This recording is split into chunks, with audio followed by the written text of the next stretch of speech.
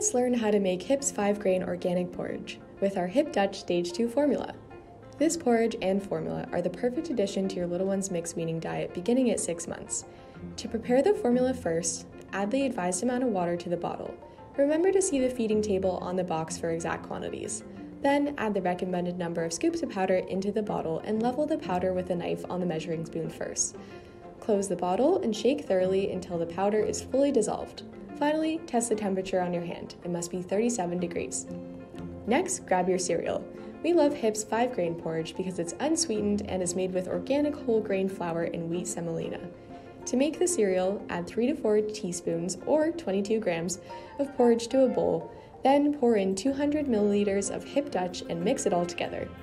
Once combined, let the porridge sit and swell briefly until the desired texture is achieved. Finally, test the temperature of the prepared porridge before feeding it to your baby.